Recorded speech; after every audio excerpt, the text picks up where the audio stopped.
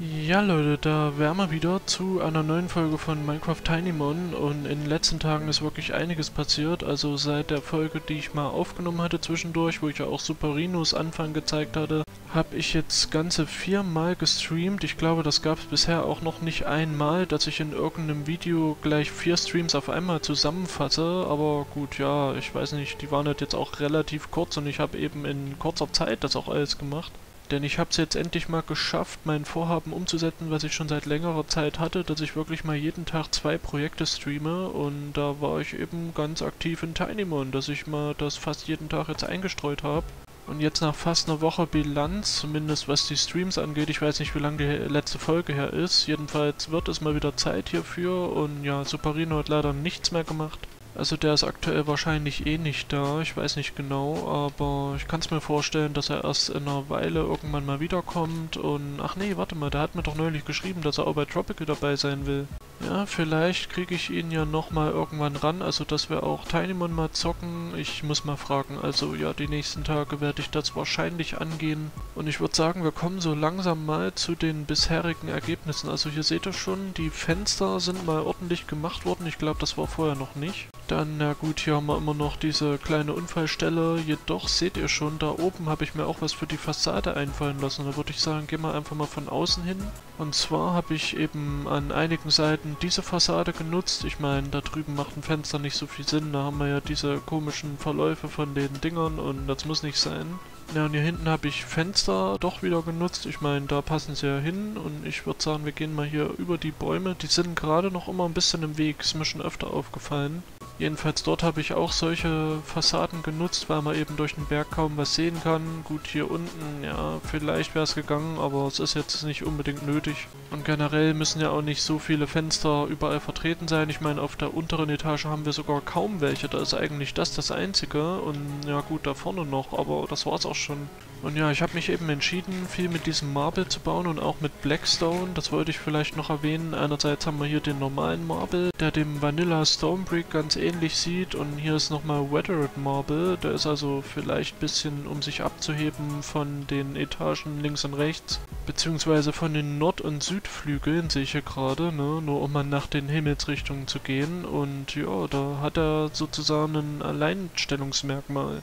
Also das passt auch auf jeden Fall zu so einem Aufgang, würde ich sagen. Und ich gehe mal kurz runter. Ich habe mir nämlich hier noch ein paar Gedanken gemacht zu diesen Zwischendecken. Und zwar bin ich bei dem Design geblieben. Ich dachte erst, naja, vielleicht mache ich das wegen der oberen Etage mal lieber einheitlich zu den hiesigen Wänden. Aber ich dachte mir so, nee, komm, das ist dann wieder blöd. Das sieht von unten nämlich nicht so geil aus. Und ja, hier vielleicht auch doch zu eintönig. Von daher, ja, das ist glaube ich der beste Kompromiss dann noch. Hier an der Stelle habe ich auch überhaupt noch was eingezogen, obwohl ich dachte vorher, naja, das kann auch offen bleiben, aber ja, ich denke, so ist es schon besser und hier oben werde ich das wahrscheinlich eh nicht tun, also auch reinziehen bevor wir dann zum Dachboden kommen. Und hier wird allerdings offen bleiben. Ich meine, da geht ja der Aufgang eh weiter. Eventuell mache ich dann auch hier diese Stelle als Glasdach. Ich meine, das kann man ja durchaus probieren, aber das muss ich sehen. Also ein paar Streams brauche ich immer noch, ne? Man mag es ja kaum glauben. Also gerade wenn ich bedenke, wenn ich die Zeit jetzt nicht gehabt hätte, ne, wann hätte ich das alles irgendwie noch nachholen wollen, ne? Wäre ich ja noch ein halbes Jahr dran. Also das ist echt krass, wie viel Zeit man damit doch noch verbringen kann und ich bin gespannt, wann ich letztendlich fertig bin. Jedenfalls habe ich mir jetzt im letzten Stream von den Vieren überlegt, dass ich auch mal mich unbedingt an das Terraforming setzen muss und das ist eigentlich ganz gut mir gelungen, denke ich mal. Also das hier habe ich jetzt angepasst. Dazu habe ich auch noch einige Bäume gefällt und mir äh, weiter hinten weg Erde geholt. Also einfach so aus dem ganz normalen Terrain gegraben weil ich absolut nicht wusste, wo ich die sonst herbekommen soll und das war mir jetzt die billigste Methode und na, stören soll das keinen, ich meine, das ist weit genug weg. Auf jeden Fall haben wir jetzt hier auf der Seite ebenfalls die Aufgabe, das auch zu tun, aber da muss ich erstmal wissen, wie weit ich mit dem Feld gegebenenfalls noch gehen will.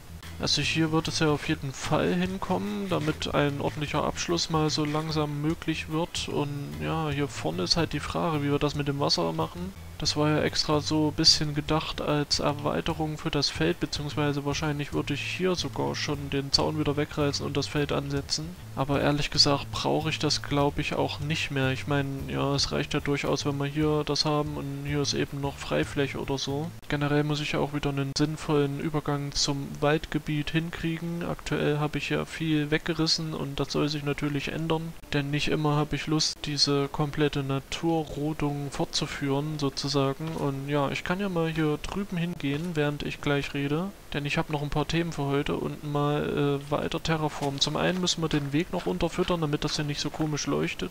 Ich habe mich also hier, um das nochmal zu beschreiben, für einen Zweierweg einfach entschieden und hier werden entsprechend Zauntore auch reinkommen. Aber das soll jetzt nicht so groß wirken wie da vorne. Da haben wir ja doch eine viel breitere Anlage so von den Gehwegen her. Und hier ist eben nur so ein Hinterding, ne? Also, dass man direkt merkt, wo vorne und hinten ist sozusagen. Und warte mal, ich habe ja hier schon überall eigentlich was drunter. Warum leuchtet denn das dann so? Ich überprüfe mal, wie weit das Ganze geht. Und wenn das überall schon unterfüttert ist, dann muss ich mich ja echt mal wundern. Ich kann mir vorstellen, dass das einfach ein Lichtbug ist, weil irgendwo ganz weit weg sowas auftritt, dass unten drunter Fackeln stehen und so, wodurch gleich der ganze Weg oder alle anliegenden Wegblöcke, die eben direkt damit in Verbindung stehen, auch betroffen sind. Was eigentlich komisch ist, aber in der Version kann es unzählige Lichtbugs geben. Naja, jedenfalls wollte ich mal das ein oder andere noch loswerden und zwar heute zum Beispiel habe ich einiges an Platz geschaffen. Das ist eigentlich ganz nice, denn ich hatte eine ziemlich volle Festplatte in letzter Zeit immer, also die interne auf meinem PC und da habe ich jetzt mal für gesorgt, dass die etwas entlastet ist. War auch so eine Aufgabe, die ich schon eine ganze Weile vor mir hergeschoben habe und man muss das eben immer mal machen, weil ja immer wieder neue Videos hinzukommen. Also ja, ich hebe mir eben die ganzen Folgen auf, zumindest seit einem gewissen Zeitpunkt, also ein paar von 2018 und davor habe ich eben auch nicht mehr, aber das meiste danach eigentlich schon und ach ja. Ich bin ja vorhin nochmal gestorben, sehe ich hier gerade. Also da können wir die Dev-Info sammeln endlich mal erweitern. Ja, sicher geil, ne? Und was kann ich noch sagen? Also ich bin eigentlich froh wegen den Festplatten, dass ich jetzt auch mal auf meiner externen ein bisschen Platz gekriegt habe. Da habe ich nämlich jetzt das meiste von der einen Festplatte hingeschoben. Und dann habe ich auch noch eine andere externe Festplatte, von der ich auch wieder was verschoben habe. Ein paar Sachen hatte ich auch doppelt, da habe ich jetzt doch mal was auch gelöscht teilweise.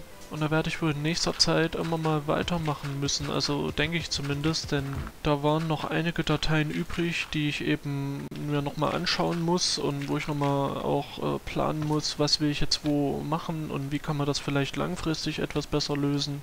Ich hatte ja auch mal zwischendurch überlegt, weil ich so viele Aufnahmen mache, ob ich mir nicht eine weitere Festplatte kaufe. Also das habe ich mal in einer Void-Folge erwähnt. Aber weil ich mir eigentlich erst letztes Jahr eine gekauft habe, möchte ich das nicht direkt schon wieder tun. Und ja, da warte ich deswegen oder bin eher zögerlich, sage ich mal.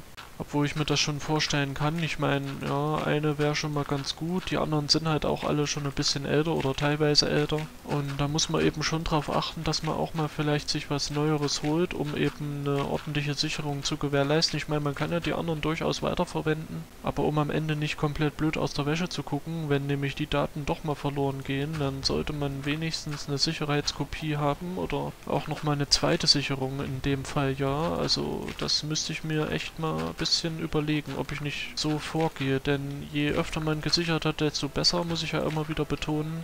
Und ja, das sind eben so Gedanken, die ich mir jetzt in letzter Zeit gemacht habe. Zudem bin ich noch dran, meine Charts auch mal voranzubringen. Da bin ich jetzt auch ganz froh, dass ich in den letzten Tagen das eigentlich ganz gut geschafft habe, wieder da ordentlich aktiv zu sein. Denn ich hing da sehr, sehr weit nach und das muss ja nicht ewig so bleiben. Also irgendwann muss man echt mal gegensteuern. Und vielleicht kann ich ja irgendwann auch mal wieder das Ganze auf Twitter posten, wie ich das eine Zeit lang gemacht habe. Aber das ist noch lange nicht spruchreif, würde ich sagen bin jetzt erstmal froh, dass ich es äh, dadurch auch schaffe, so ein bisschen neue Songs zu entdecken teilweise. Natürlich nicht allzu sehr, also nur zwischendurch mal. Aber die ganzen Neueinsteiger, die man dafür nutzt, müssen ja auch irgendwo herkommen. Und da muss man eben sich ein bisschen umhören, mal gucken, was ist jetzt rausgekommen oder so. Da muss ich mir jetzt auch noch das ein oder andere raussuchen, denn ich stehe gerade an einem Punkt, wo ich zwar noch ein paar Neueinsteiger habe, aber nicht mehr allzu viele. Und bevor ich dann irgendwas reinnehme, was mir an sich nicht ganz so krass gefällt, nur damit ich was habe, so ungefähr, würde ich doch lieber auf was zurückgreifen, was mich richtig catcht so. Und das versuche ich eben jetzt wirklich mal hinzukriegen, denn das Ding ist, sowas findet man nicht mehr so easy wie früher, da konnte man mal einfach in die Charts gucken und hat 20 Sachen gefühlt gefunden, also 2011 war da echt geil, aber mittlerweile ist das ja alles ganz anders zu bewerten und da muss man eben extrem viel so sich umgucken und schauen, auf welchen Quellen gucke ich jetzt etc.